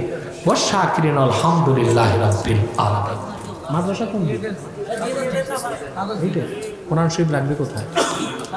আচ্ছা, আচ্ছা কোন দিক দিয়ে যাবে? বুকে করে রেখে আস। বসেন। ইউটিউব ইউটিউবওয়ালারা ভাবছে এখনই আমি উঠতেছি, নাকি? একটু একটু। এগুলো সব তোমার কাছে জমা রাখো প্রশ্নগুলো আমি উত্তর দিচ্ছি। দশ মিনিটে হলে উত্তরগুলো দিয়ে দিব ইনশাল্লাহ। আর বেশি প্রশ্ন নিয়ে না আমি তো ক্লান্ত দেখতেছি। সম্মানিত সুদী। সম্মানিত সুদী আপনারা খুব কষ্ট করেছেন। আমি আর আপনাদের কষ্ট দিচ্ছি না। আমি আপনাদেরকে দিয়ে ডান থেকে দিয়ে। আমি আর আপনাদের কষ্ট দিচ্ছি না মোটেও। আপনারা জানেন আজকের প্রোগ্রামটা তাহরিকে খাতমে নবদ বাংলাদেশের ব্যানারে, ঠিক কিনা? আমাদের প্রিয় সংগঠন তাহরিকে খাতমে নবদ বাংলাদেশ, সারা দেশব্যাপী খাতমে নবতের আন্দোলন করে যাচ্ছে। আমি তোমাদেরকে বলছি, যুবকরা, এই লেখালেখি বন্ধ করো এখন। সময় দিব আমি, সময় দিব। একটু চুপচাপ বসো। খাতমে নবতের আন্দোলন আমাদের সংগঠন সারা দেশব্যাপী করে যাচ্ছে। এখন প্রশ্ন হচ্ছে আপনাদেরকে কেন কমিটি দিলাম মাগুরাবাসীকে? প্রশ্ন আসে না? তার প্রথম জবাব খাতমে নবতের আন্দোলন সবচেয়ে বড় আন্দোলন খাতমে নবতের জিহাদ সবচেয়ে বড় জিহাদ। এর চেয়ে বড় জিহাদ নাই এর চেয়ে বড় আন্দোলন। বিষয়টা সহজে বুঝাই দিচ্ছে আল্লাহ এক আল্লাহর একত্রে কারও শরিক নাই। আল্লাহর একত্রে কারও শরিক নাই এখন কেউ যদি কালেমা পড়ে বা মুসলমান হয় কিন্তু যদি আল্লাহ এক আল্লাহকে বিশ্বাস করল কিন্তু আল্লাহ এক এটা বিশ্বাস করল না সে মুসলিম না কাফের? শুধু কাফের না নিকৃষ্ট মোশরেক। নিকৃষ্ট মুসলিম ঠিক সেভাবে মোহাম্মদ সাল্লাহ সাল্লাম আল্লাহর সর্বশ্রেষ্ঠ ও সর্বশেষ নাবী ও রাসুল। কেউ যদি মোহাম্মদ সাল্লাহ আসলামকে আল্লাহ রসুল বলে বিশ্বাস করে কিন্তু তিনি আল্লাহ সর্বশেষ নবী ও রসুল এটা বিশ্বাস না করে সে কি মুসলমান হবে? না সে কুখ্যাত কাফের। ওদিক ঘুরে বসো জনগণের দিকে। তাকে যারা কাফের বলবে না তারাও কাফের। কথা বুঝতে পারছেন? আল্লাহ এক ওনার জাত ও সিফাতে কারও শরিক নেই। আল্লাহর একত্বে কারও শরিক নেই তিনি এক ও একক। এই বিশ্বাসটার নাম আকিদাতুত তৌহিদ আকিদাতুত? আল্লাহর এবাদত কাউকে শরিক করা যাবে না। এটা আকিদাতুত তৌহিদ ঠিক মোহাম্মদ সাল্লাহামকে আল্লাহ তালা দেড় হাজার বছর আগে প্রেরণ করে নবুয়ত রেসালতের দরজা চিরতরে বন্ধ করে দিয়েছেন। ওনার পরে আজ অবধি কোনো প্রকারই নবী কিংবা রাসুল আসে নাই, এখনও নাই, কেয়ামত পর্যন্ত আসবে না। এই আকিদার নাম আকিদা খাতমে নবুয়াত। কারণ এই আকিদা যার বিশ্বাস থাকবে না এই আকিদায়, সে মুসলিম না কাফের? এই রকম কাফের বাংলাদেশে আছে না নাই? তাদেরকে নির্মূল করে তাদের চক্রান্ত থেকে দেশ ও জাতিকে রক্ষা করার জন্যেই তাহারিকে খাতমের বাংলাদেশ কাজ করে যাচ্ছে। এখন বলেন, এই সংগঠনে আপনাদের কাজ করার দরকার আছে না নাই? আসেন এবার। আমি একটু আগে বললাম যে খাতমে নবতের আন্দোলন সবচেয়ে বড় আন্দোলন, খাতমে নবতের জিহাদ সবচেয়ে বড় জিহাদ। প্রশ্ন আসে না কেন? আপনি অবাক হবেন, আমি গবেষণা করে দেখেছি এবং সকল গবেষক একমত। আল্লাহ রসুল নবীজি মোহাম্মদ সাল্লাহ আসলামের নূরের জমানায় দেড় হাজার বছর আগে মদিনা মুনওয়ারার দশ বছরে মোট জিহাদ হয়েছে আশিটার মতো প্রায়। তার মধ্যে অনেক ভাগ আছিল জিহাদে। গাজওয়া, সারিয়া, জুয়ুস এবং বরুস সব মিলিয়ে মোট আশিটার মতো।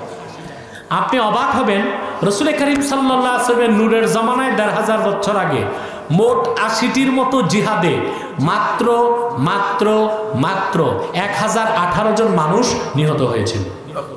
মাত্র। দশ বছরে। কতজন? এক হাজার? এর মধ্যে মমিনও ছিল, কাফিরও ছিল।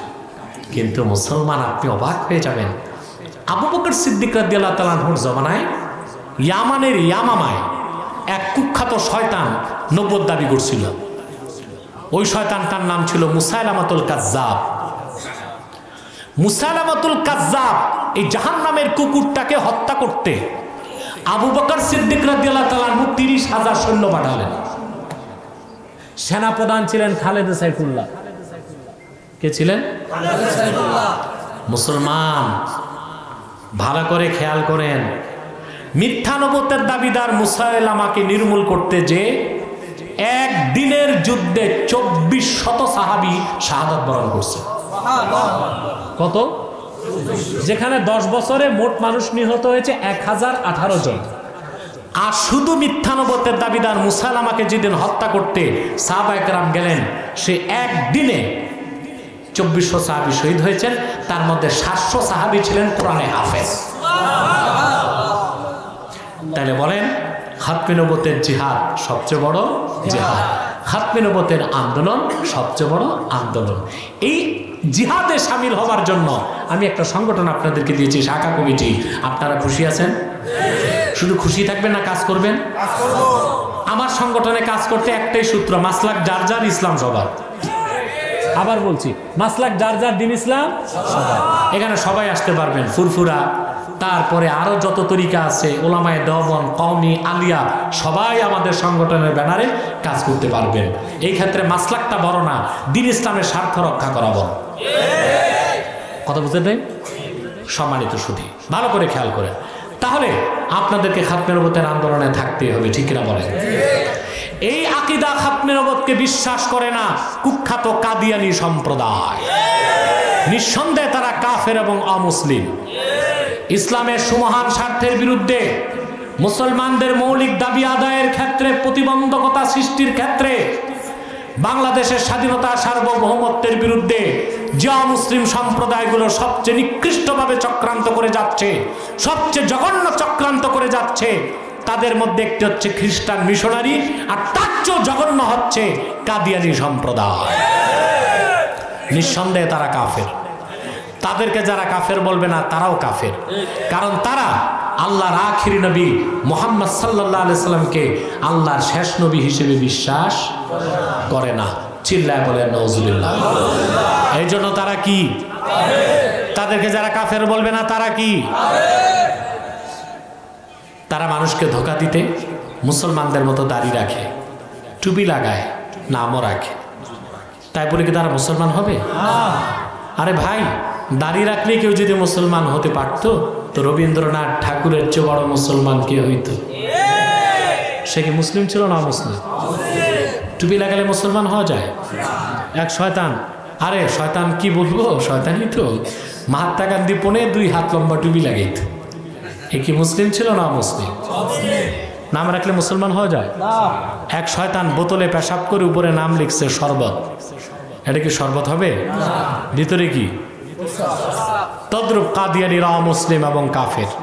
আব্দুল আওয়াল আব্দুল সামাদ মোবাশ্বের আলী কবির চৌধুরী এসব নাম রাখার দ্বারা তারা মুসলমান হতে পারে আমার ভাইয়েরা, আমার বন্ধুরা, আমার আল্লাহ অনুর নবীজি আমার মোহাম্মদ সাল্লাহ আলী সাল্লামের ইসলাম ও কোরআনের হাজার হাজার হাজার বছর পরে বর্তমান ভারতের কুখ্যাত পাঞ্জাবের কুখ্যাত গুরুদাসপুরের কুখ্যাত কাদিয়ানে ইংরেজ আমলে এক শয়তান নিজকে নবী দাবি করছে। চিল্লায় বলেন নজরুল্লাহ ওই শয়তান তার নাম রেখেছিল তার বাপ মির্জা গোলাম আহমদ কাদিয়ানি। কিন্তু তাকে গোলাম আহমদ বলা যাবে না। কারণ গোলাম আহমদ অর্থ আহমদ এর গোলাম। কোন কাফের কোনোদিনও গোলাম আহমদ আহমদ এর গোলাম হতে পারে না। আর কাদিয়ানের কাজ্জাব মিথ্যানুবতের দাবিদার। মির্জা গোলাম শয়তান কাদিয়ানি ছিল শেষ দরজার কুখ্যাত কাফের। সে গোলাম আহমদ আহমদ এর গোলাম ছিল না। সে ছিল কুখ্যাত শয়তানের কুখ্যাত গোলাম। কাদিয়ানের কাজ্জাব মিথ্যানুবতের দাবিদার। মির্জা গোলাম শয়তান কাদিয়ানির উপর গজব এসেছে উনিশশো আট সালে। যখন গজব এসেছে, কাদিয়ানের কাজ্জাব মিথ্যানবতের দাবিদার। মির্জা গোলাম শয়তান কাদিয়ানি উনিশশো আট সালে ধ্বংস হয়ে কুখ্যাত জাহান নামের কুখ্যাত কুকুরে পরিণত হয়েছে। তার অনুসারীরাও ধ্বংস হয়েছে। বর্তমানে কিছু কাদিয়ানি বাংলাদেশে আছে, যাদের সবচেয়ে বড় আস্তানা পঞ্চগড়ে, আর আছে ব্রাহ্মণবাড়িয়াতে। ইতিমধ্যেই তারা বাংলাদেশে একশোটি সেন্টার করে ফেলেছে। নজবিলা বলবেন তাদের একমাত্র কাজ, মানুষকে ধোকা দিয়ে কাফের বানানো। তাদের আকিদা আঠারোশো সাতান্ন সালে কোরআন শরীফ বাজেয়াপ্ত হয়ে গেছে, নজরুল। তারা বলে, শুকরের গোস্ত এবং মদ খাওয়া হালাল। তারা বলে, ইংরেজদের বিরোধিতা করা কুফুরি, যারা ইংরেজদের বিরোধিতা করবে তারা কাফের। নিঃসন্দেহে ইহুদি খ্রিস্টানের জঘন্য কাফের হচ্ছে কাদিয়ানি সম্প্রদায়। তারা ইসলামের শত্রু, মুসলমানের শত্রু, বাংলাদেশের স্বাধীনতার শত্রু। তারা নিজেদের মিথ্যা পরিচয় দিয়ে নাম পরিবর্তন করে করে মিথ্যা পরিচয় দেয়।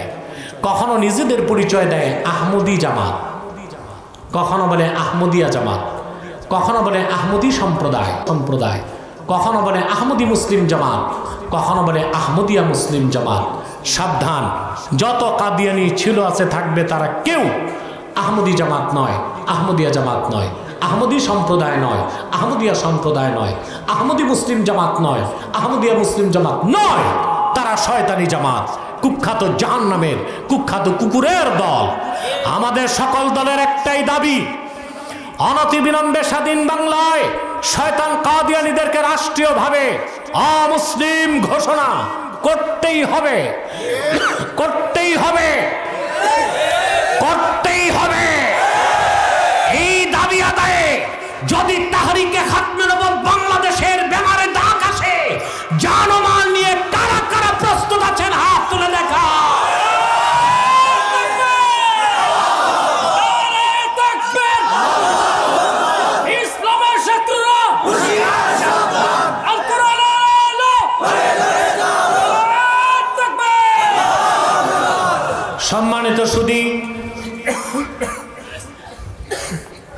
কাদিয়ানিদেরকে অর্থনৈতিক সহযোগিতা করবেন না। করেন আপনারা? জি, করেন। প্রাণ কোম্পানির যত জিনিস তাদের, সেজান কোম্পানির জুস তাদের, আর আর এফ এল এর পণ্যগুলো তাদের, প্রথম আলো ডেলি স্টার কালের কণ্ঠেগুলো তাদের, এগুলো ধরবেন না, কিনবেন না, বেচবেন না, মনে থাকবে? আরেকটি সম্প্রদায়ের ব্যাপারে সাবধান করে দিচ্ছি। খ্রিস্টানদের গোপন সংগঠন ইসা ই তরিকা এটা খ্রিস্টানদের একটা গোপন দল। উনিশশো পঁচাত্তর সালে বাংলাদেশে ঢুকছে। শুনলে কষ্ট পাবেন এই পর্যন্ত বাংলাদেশে সাড়ে নয় লক্ষ মানুষকে খ্রিস্টান বানায় ফেলছে। এরা মারাত্মক থাবা বিস্তার করেছে আপনাদের কুষ্টিয়াতে, শান্তিডাঙ্গায়। আমি এসেছিলাম ষোলো সালে, চার বছর আগে। এসেছিলাম। একসাথে বাইশটি পরিবারকে খ্রিস্টান বানায় ফেলছে। অনেকগুলো পরিবার ফিরে এসেছে। খ্রিস্টানদের নেতা যে ছিল, সে আগে ছিল মুসলিম। তার নাম ছিল নজির আহমদ। সে লামাঝাবি ছিল। পরবর্তীতে সে খ্রিস্টান হয়ে গেছে। আমি এসেছিলাম, সে আমার সাথে আড়াই তিন ঘণ্টা বিতর্ক করেছিল। মাজিদুল ছিলেন মাজিদুল আমার সাথে ছিল।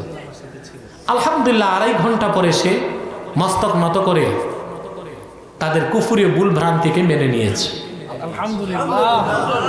শুনেছি গত বছর সে নাকি আবার মুসলিম হয়েছে, আমি জানি সারা দেশ এই ইসাই তরিকা খ্রিস্টান ধর্মের কাজ প্রচার করছে। মানুষকে ফর্মভুক্ত করে বলে তুমি মুসলমান, তবে ইসার উম্মত মুসলমান। ইসার উম্মত মুসলমান না খ্রিস্টান? এবং আপনি শিহরে উঠবেন। তথ্য শুনলে। অনেক আলেমকে তারা তাদের সদস্য বানায় ফেলছে।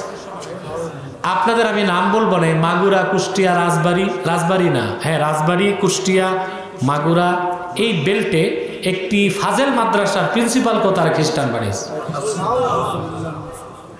এক পীর ছিল খাজা খবিরুদ্দিন চিস্তি নাম কুষ্টিয়া এলাকায়। ওই লোকটা এগারো বছর আগ থেকে খ্রিস্টান ধর্ম গ্রহণ করে খ্রিস্ট ধর্ম প্রচার করছে তার মুরিদদের মধ্যে। ঘুমে আছেন মুসলমান ঘুমায় আছেন। কোনো খোঁজ নাই আপনাদের। কোনো খোঁজ না।